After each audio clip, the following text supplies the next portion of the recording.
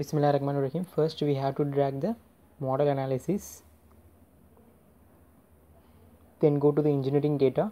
In engineering data, we have to specify the materials. In the type of general material, we just add the material to the library based upon your requirement. Then return to the project. Then right click on the geometry for import the geometry which was created in the another software such as SolidWorks or Creo which must be saved in STEP format. Then we have go to the model Now the geometry is imported in ANSYS Workbench. Our geometry successfully imported. Then go to the model tree, select a geometry, assign the material based upon your requirement. Then right click on the meshes, click generate mesh. Now the mesh is created. Then change the sizing based upon your requirement. Find coarse or medium. After that you have to just click update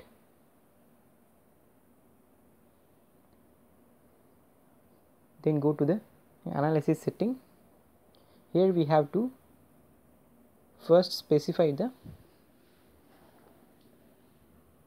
supports.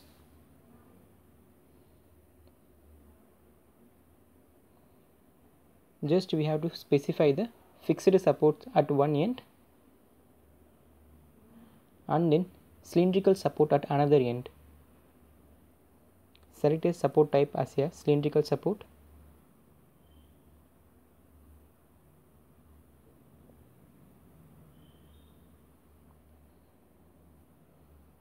now we have two supports such as a. One is fixed support another one is cylindrical support.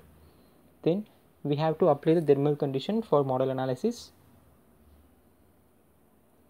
Go to the loads select the thermal conditions give the temperature value in a magnitude.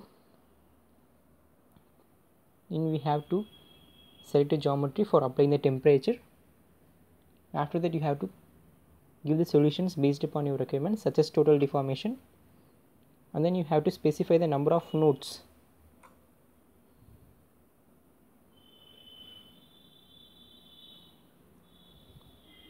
We can change the mode values based upon your requirement. At last we have to solve the solutions. Here the temperature is directly proportional to total deformation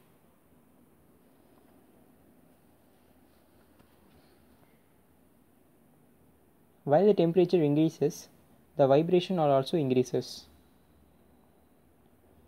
That's why we have give the number of modes based upon your requirement